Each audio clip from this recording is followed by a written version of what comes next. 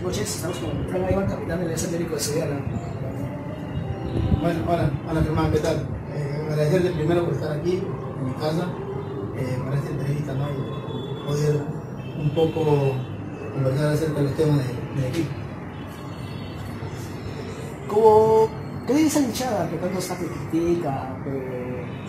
Ah, no, bueno, es, parte del fútbol, ¿no? Uno, uno, bueno, yo ya tengo mucho tiempo en esto del fútbol y, sé cómo es cuando los resultados son negativos, quizás la gente un poco que se desespera y empieza a criticar y ese tipo de cosas que es común, es normal.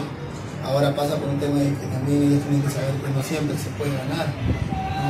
Este es un grupo joven, un grupo nuevo. Yo como capitán del equipo sabía que, este era una, una dura, un, que iba a ser un duro trabajo por la cantidad de, jóvenes que hay dentro del equipo, pero ahora gracias a Dios en estos últimos partidos tratando de, de que ya se vea un poco más, más, el optimismo del equipo, el grupo, ya más compenetrado queremos seguir sacando buenos resultados. Estar en segunda división no es fácil, que contra todos los problemas tienen que sacarse esto adelante. Sí, sí, lógicamente no es fácil, es un torneo muy duro. La segunda es un torneo muy duro, un, torneo donde, donde hay dos ruedas, donde ya está por acabar la primera y nosotros esperemos sacar estos seis puntos que, que- se vienen para poder afrontar de una diferente manera la segunda rueda, ¿no? En el caso de que, de repente puedan, puedan venir algunos compañeros, no sé, a apoyar el- este proyecto, ¿no? Porque este es un proyecto, el presidente lo presentó como un proyecto y, y eso es lo que queremos, seguir pelear ahí entre los siete y tener la posibilidad para ascender al equipo. La meta es salvar la categoría y luchar para seguir en segunda y pelear en los primeros puestos.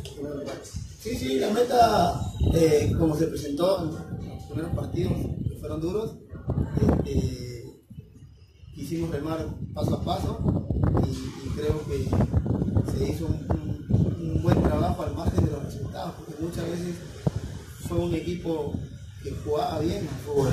Lastimosamente por las inexperiencias, por las circunstancias de los partidos, perdíamos partidos tontamente. Pero era, era, es un equipo que estaba en proyecto a eso. Entonces, hoy en día ya se ve un poco, un poco más cuajado el equipo, con más partidos, con más rodaje y eso va a ayudar. ¿Cuál es el objetivo principal del ese técnico? Yo creo que en primera instancia es tratar de sumar la mayor cantidad de puntos y tratar de pelear entre los siete primeros para poder llegar a esa chance de, de la liguilla, ¿no? Eh, Alianza Atlético creo que es un club de historia, un club bueno y, y- y el presidente ha dado el máximo apoyo desde que yo estoy aquí y así que yo estoy agradecido con el club, con, con la misma gente acá de Sollana y, y yo sé que este equipo va, va a pelear entre los. ¿Qué partido ha sido el más complicado? Eh, me parece que el partido más complicado ha sido remontar este Unión Guaral 2 a 1, faltando 4 o 5 minutos en donde ya la gente se desespera, en donde nosotros mismos por la, por la inquietud de querer sacar buenos resultados nos íbamos encima y podíamos haberlo perdido también, pero gracias a Dios se ganó. Se vive una plaza muy complicada, como es el Chocoyape, visitar el Pan Auris, un equipo que por ahí casi siempre anota de local. Sí, sí, sí, sabemos está entre los primeros puestos, sabemos el, el equipo que tiene, la inversión que tiene y, y somos conscientes que también, así como Alianza Zuliana, ellos también es un equipo de prestigio grande y seguramente va a querer salir a, a ganar este partido. Ahora ellos también saben que nosotros venimos con buena moral, saben que venimos mejorando y vamos a ser un lindo partido. Muchas gracias, Frank, por esa pequeña entrevista. No, no, gracias a ti y para terminar esta entrevista quisiera pedirle, ¿no? Más que toda la gente acá de Sollana, que tenga un poco de paciencia, que yo sé que no es fácil ser hincha, porque yo también soy hincha de algún equipo, entonces quiero que gane siempre, pero sin embargo a veces las circunstancias pasan, pero sé que, el equipo está esforzando y me han pedido eso, nomás un poco de paciencia sé que las cosas van a ir mejorando, no tener paciencia con chicos, que, todas las van a mejorar.